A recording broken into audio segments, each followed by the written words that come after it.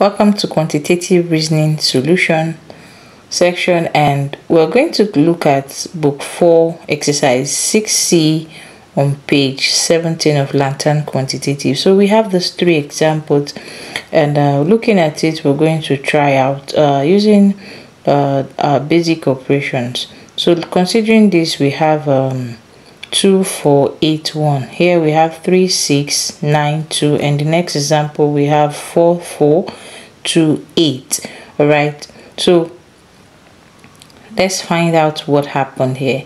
Uh, looking at this we have 2 times 4 8 8 times 1 8 so let's see if it's going to work here. 3 times 6 18 9 times 2 18 4 times 4 16 8 times 2 is 16 so which means they're equivalent right?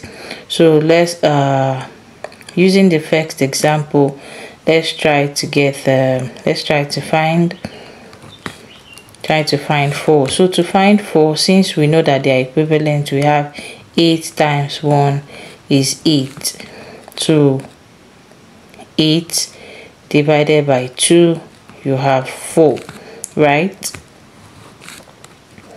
to find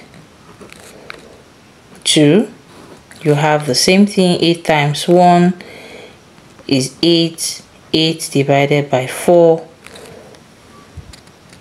is 2 and to find 8 we're going to have 2 times 4 that means we're going to be using the next equation is 8 right 8 divided by 1 we have 8 and to find